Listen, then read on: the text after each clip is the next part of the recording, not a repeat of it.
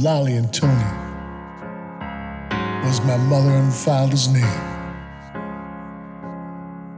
Working class heroes with no money and no fame.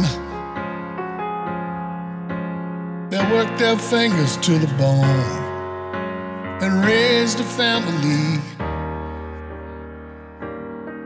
Gave up their best years to my sister Julie and me. They met each other during supper at the Santo Christo Fair. Down on Columbia Street. Can't believe my mom was there. That night he told her, You don't know it yet, but someday you'll be my wife. I never heard anything more romantic in my life. But then Hitler set the world on fire, and Tony joined the fray. I know he didn't want to go, but that's the price he had to pay. But Lolly's letters, they followed him and saved his sanity.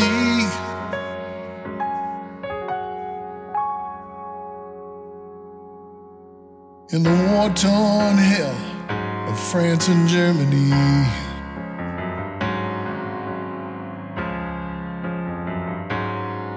Our mama loved us, and she taught us how to pray.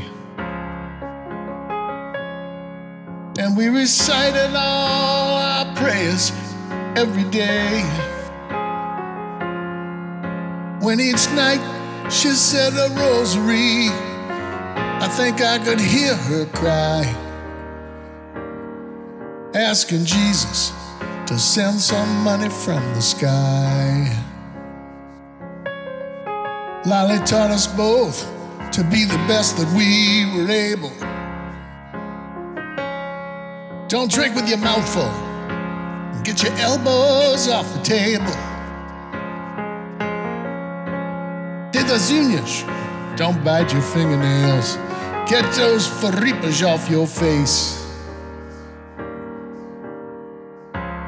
You're wearing that thing, you're not going anyplace. But the best advice was some that my father gave.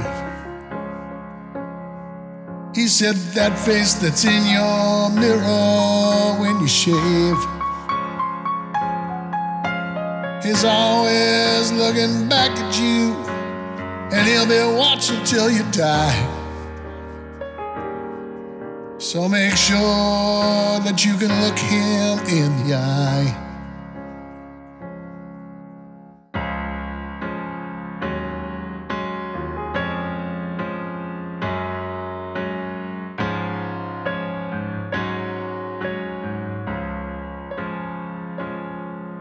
Took me quite a while to get all that through my head. Between the two of them, an awful lot was being said. But as the years pass, I can see now their truth was always plain. They laid it all out for me to ascertain.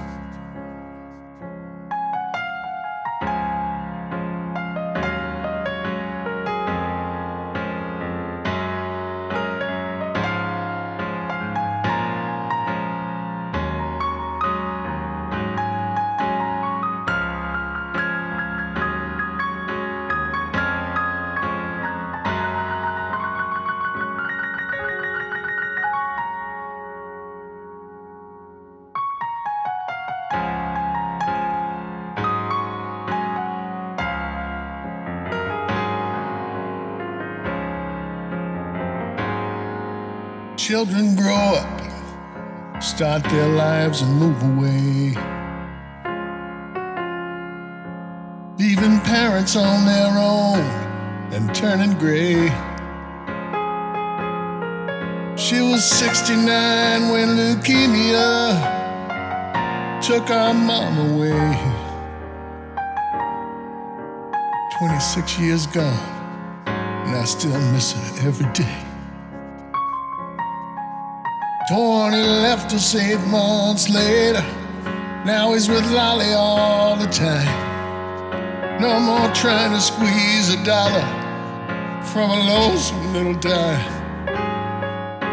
The things those people taught me will never fade away.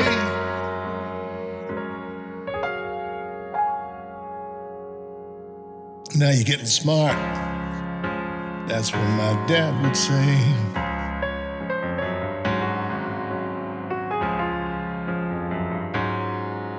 People say it was a blessing. The Lord took him in his sleep.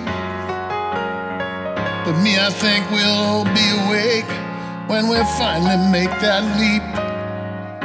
It's just something that we tell ourselves to whitewash our own pain.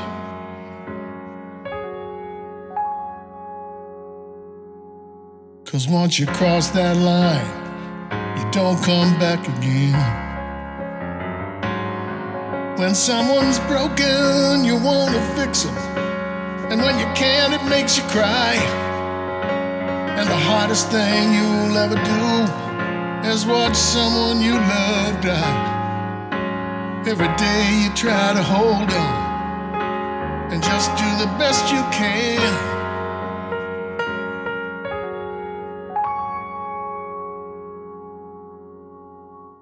To be there for them if they need to hold your hand.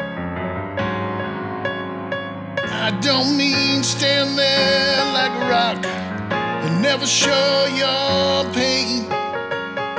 Sometimes it's better to let go and make your feelings plain.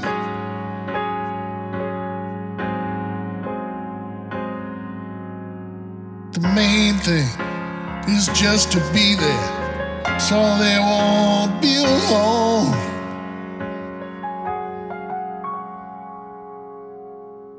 So they don't have to take that last step.